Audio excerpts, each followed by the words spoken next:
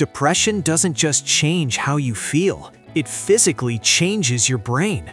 Over time, it shrinks critical areas like the prefrontal cortex and the hippocampus, regions responsible for mood, memory, and decision-making.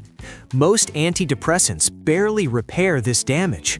Now, researchers in New Zealand have discovered something remarkable.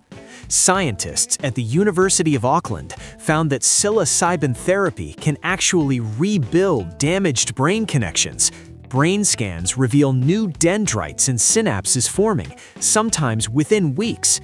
Psilocybin works differently from conventional medication. It triggers a surge of neuroplasticity, allowing the brain to rapidly grow new connections.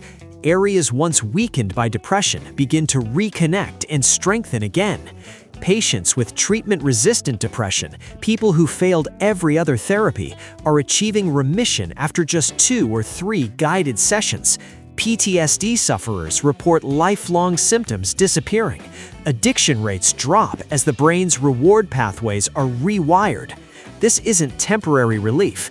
Treatment takes place in carefully controlled clinical settings with trained therapists. The psychedelic experience itself appears essential, unlocking deep emotional releases while the brain physically regenerates. Follow-up studies show the effects can last for years after only a few sessions.